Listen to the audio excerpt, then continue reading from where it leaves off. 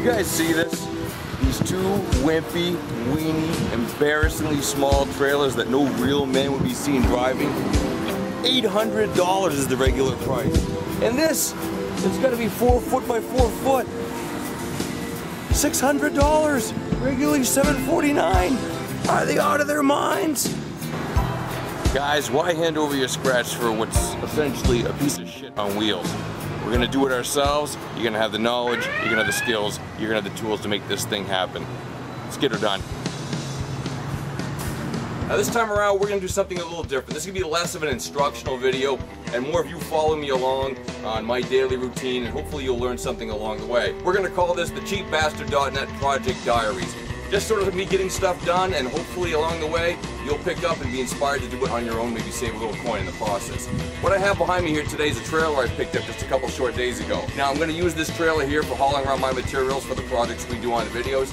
Now normally if you go into a big box store or any type of uh, uh, lumber yard or Home Depot type of thing, you're gonna pay between 12, 14, 1600 dollars for a trailer of the exact same capacity. How much did I spend?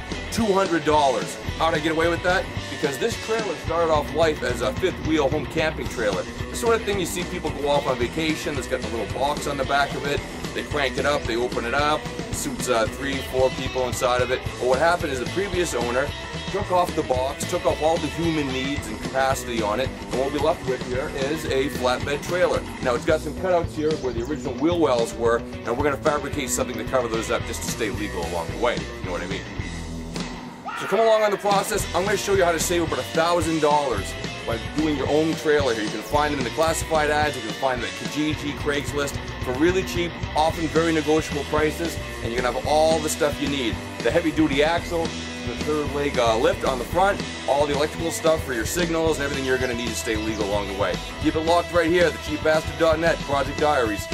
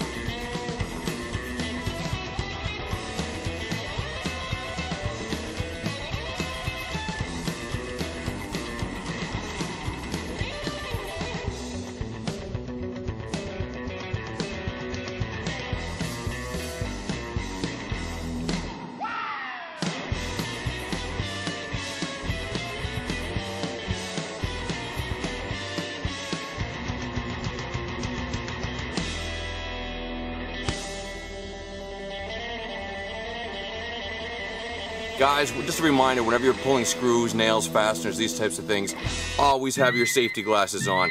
We just had a little uh, incident here a moment ago. I was pulling a screw, popped right out, missed my eye by about a half inch, and it was coming straight at me. I could see it like a torpedo. So, always wear your safety glasses. Luckily, I did here, it deflected, but I saw it coming right at me. So, play it safe, man.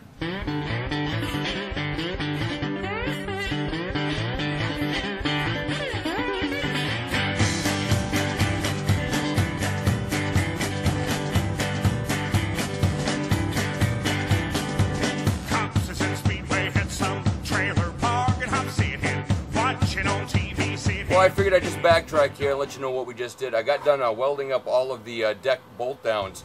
Basically, what I used was uh, these extra brackets, only in longer lengths that I had from an old uh, shelving unit that we had that got tossed out. Man, I couldn't bring myself to throw good steel. You can also use the same stuff that you use for uh, kids' bed frames. You know those steel angle iron bed frames? Don't throw them out, take them, cut them up, they're going to find a use somewhere else. So what we did is, since these already have holes drilled in them, it saves me a lot of time from having to create holes to drill the deck down to for the bolt-up portion. Uh, so I just used all of this extra uh, angle iron bracketry we had laying around here. Used about maybe, I'm going to guess maybe 8, 10 feet of it. And now we have all of our frame ready for the, uh, for the decking. I'm going to take a rest today, it's been a long one, and we'll cover that tomorrow. Okay, a full night's passed, I got some sleep, I feel recharged and refreshed. Like I'm not gonna make any screw ups that happen when you know when you work too late, you know, you get a little kooky in the head, you make some bad decisions. So now, with all the angle irons uh, welded into place, we have our bolt throughs ready, we're gonna start laying some decking. Now for the purpose of this project, I'm using 2x10 pressure treated planks. I'm going to start in the center, sort of like a, a, tile layer or a brick mason. You start in the center and then work yourself out until you reach the end. That way, uh, it's a little more aesthetically aesthetic. Um, some people might start on one side, work the whole way over, and they've got all regular sized planks all the way, and then the last one is only like two inches and it looks all stupid. We're not going to do it that way. We want this thing to last a long time. We want to, you know, not be sad every time we have to go and look at it and be kicking ourselves in the arse. So with that said, we have our center line drawn. We'll lay the first plank, work our way outward. Now what I'm going to do, and I'm going to get some emails and messages and, and hate literature about it, I'm expecting that so much. What we're going to do is we're going to butt the planks up tight up against each other because this is the new pressure treated stuff. This isn't the stuff they used 25, 30 years ago. They stuff with formaldehyde that was still tending to warp and twist and dry and expand uh, when exposed to water. This stuff's a lot more stable today so you can butt it up against each other. Normally, in the old days, we do a 1 8 or a 3 16 gap in between the planks. You don't need that. Don't worry about it butt them up tight against each other with the crown side of the board. That's that little sort of archy, sort of rainbow arc, half semicircle thing pointing upward at the end of your cut. So crown side up, butt them up tight, we'll get this thing underway. Let's get it done.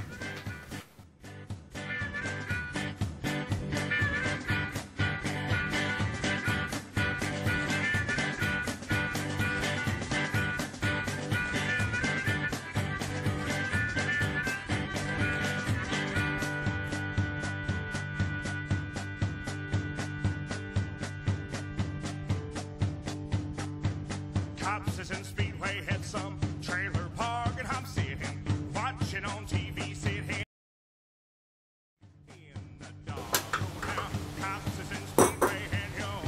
Okay, shape it up now. It's actually looking like a trailer. So so far we're about $200 in for the actual trailer itself.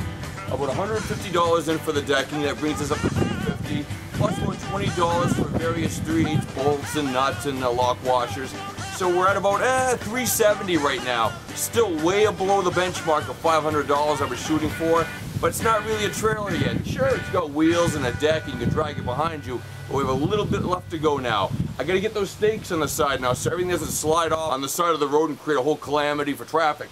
So, next we're gonna cut some stakes. What are we gonna use for stakes? We're going to use probably about 2 inch angle iron. Angle iron is that steel that's kind of L-shaped if you can get a mental image going on there. Now we can go out and buy it. We're probably going to drop about, I don't know, $150, but I'm not going to go that route. Instead, go down to your local salvage yard, your dump, your transfer depot, your reclamation center, and look for an old bed frame. Same thing, angle iron, mild steel, you can't lose. So we're gonna go, we're gonna salvage up some angle iron, get some stakes and rails on there, and make this thing into a real trailer. Keep it locked.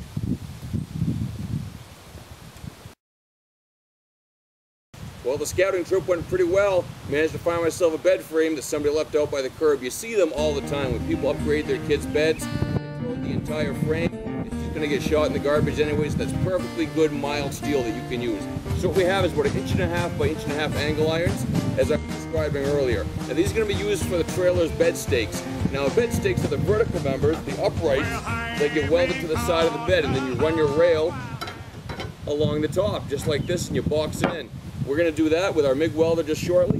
Now why these are useful is because often you're carrying a big load in the back, well some of us anyways, uh, whether it be a four-wheeler, a skidoo, um, bags or something, garbage, and you need to tie stuff down to keep stuff from falling out on the highway and creating a big national incident. This is where your this is where your rails and your bed sticks are going to come in handy. Stick with me. We get these things welded up in short order if the weather holds. It ain't gonna hold. Along in a steady clip now. We got our stakes in place from the bed frame. I did have to go out and spend a little coin. Uh, I dropped about $50 in materials. What I got here is 2 inch by 2 inch uh, angle iron, a 1 8 inch thick. It's the same dimensions as, it's the same thickness at least as the uh, uh, as the stakes, but we're going to go a little bigger on the uh, rails, and I'm going to show you why in a minute because we're going to tack on a, well, we'll get to that in a minute. Well, we're rounding the bend now, and we're almost in the final stages of assembly here on our uh, sub $500 trailer project. The last thing to do is I got my uh, 2 inch by 2 inch angle irons here. I went two inch by two inch, even though the stakes, the uprights here are only inch and a half and by inch and a half. So we'll have enough overhang and be able to smooth out the edges so we don't get those rough spots in there. It's a really hot day out today, man. It's gonna be 90 degrees. I just want to get this thing done. So I got two 12 uh, foot uh, angle irons and let's get those tied in and uh, we're rounding the bend towards the end.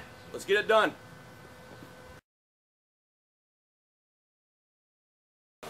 Okay, with all of our angle irons all welded in, all the horizontals where they ought to be, let's go ahead and get this thing painted up before we call it a night, alright?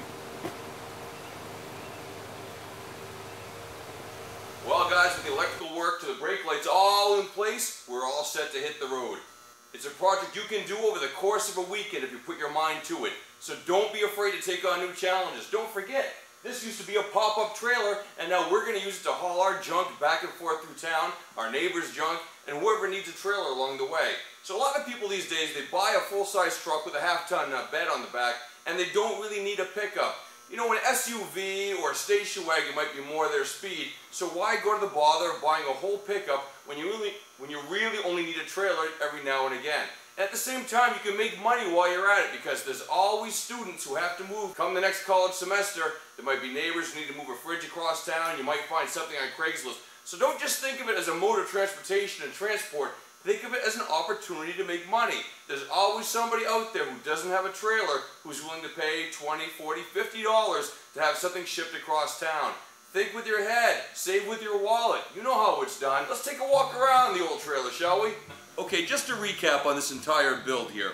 We started off with the basic frame from an old pop-up fifth wheel trailer.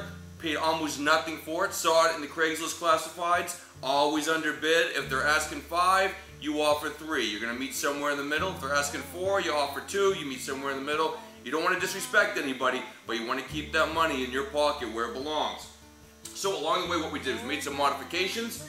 We laid on a whole pressure treated decking here. I think I'm out maybe $150, $160 in the pressure treated decking here. That'll hold up for years. I'm never gonna have to worry about that. Maybe $30 in bolts and fasteners. Along the way, uh, I picked up some uh, tail lights here because tail lights are mandatory if you're going to take this thing out on the road. You don't want to get in trouble with Johnny Law. So we picked up some tail lights. I went for the $3 ones, so I got $6 in tail lights. Now, it's inevitable. Whenever you're helping somebody move furniture or some knucklehead that you know is giving you a hand on his weekend time, inevitably, they're always going to do something stupid, like they're going to take, I don't know, a dresser or a table, and they're going to smack your tail lights, and they're going to bust out your tail light by accident. They'll go, duh, I'm sorry, I didn't mean it.